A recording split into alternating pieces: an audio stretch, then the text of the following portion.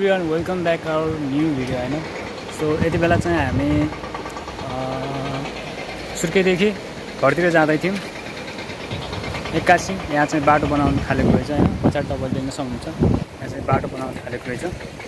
So हामीले चाहिँ यहाँ लगभग लगभग एक घन्टा जति वेट गर्नुपर्ने भनेर जेसीको अपरेटरले भनिरहेको छन् होइन? तर यहाँ चाहिँ यो ठाउँको नाम चाहिँ रिम्ना है? यता पारिपट्टि आर्बिस्कोट र यतापट्टि जाँदै एकदमै सुन्दर छ। यो चाहिँ भेरी होइन? म चाहिँ अहिले भेरी पुलमा छु। सबै दामी भ्युजहरू छ होइन? भेरी पुल आसपासको दृश्य एकदमै सुन्दर अनि मनमोहक थियो। तपाईँहरूसँग सेयर गर्नको लागि मलाई भ्लग गर्न मन लागिहाल्यो अनि भ्लग स्टार्ट गरेँ। हामीलाई त्यहाँ तिन घन्टा जति रोकियो र मैले त्यहाँ थोरै भ्लग गरेँ र त्यसपछिको भ्लग भने कालीमारीदेखि खाराको स्टार्ट गरेँ।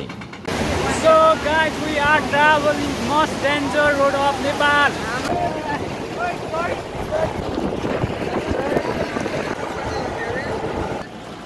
हामीले ट्राभलिङ गर्दा रोड चाहिँ एकदमै डर लाग्दो थियो। माथि हेर्दा डर लाग्दो भिड तल हेर्दा डर लाग्दो खोला। तर हामी बाहिर हुकमा बसिरहेका थियौँ चिसो हावा खाँदै वरपर भ्युजको मजा लिँदै घुमिरहेका थियौँ हिँडिरहेका थियौँ रमाइलो गरिरहेका थियौँ।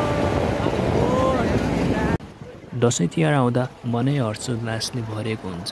वर्षमा एकपल्ट घर आउन पाउँदाको खुसी झन् बेग्लै छ तर यो डर लाग्दो रोड वारिपारि भिरै भिड तल ठुलो खोलाले गर्दा हामीलाई कति कति बेला डर लाग्थ्यो घर पुग्न सक्छौँ कि सक्दैनौँ भनेर। तर पनि वरिपरिका केही खोला नाला छहरा र राम्रो भ्युजले हामीलाई त्यो सबै दुःख पीडा भुलाउँथ्यो। यति बेला हामी छौँ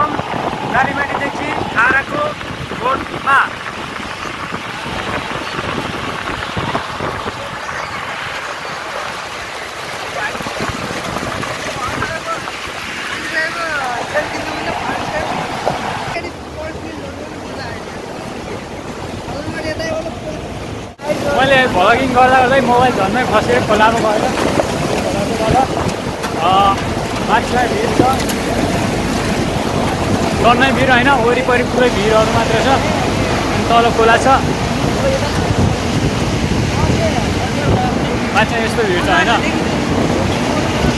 ए केटाहरूले बहुत मजा लिइरहेको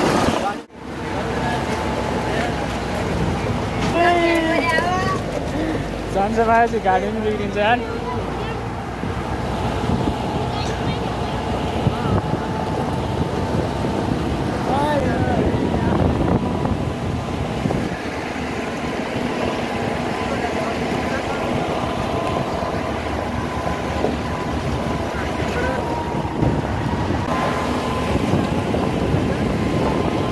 सो गाई चाहिँ हामीले देख्न सक्नुहुन्छ बारीको होइन बहुत सुन्दर खोला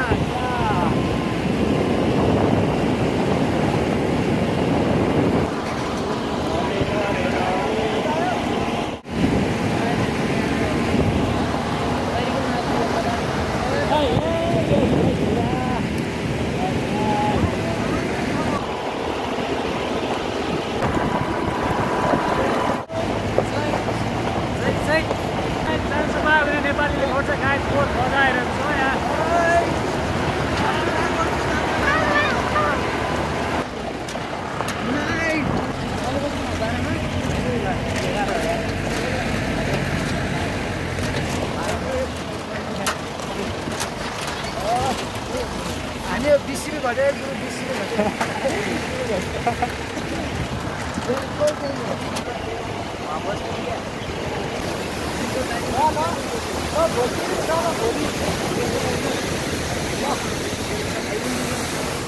यति बेला हामी खारा भन्ने ठाउँ पुगिसकेको छौँ होइन गाडी हाल्न माथि जाँदैन अब हामी उ त्यो पारी ठाउँ जानुपर्छ र त्यसपछि अर्को गाडी चेन्ज गरेर आज माथि जानुपर्छ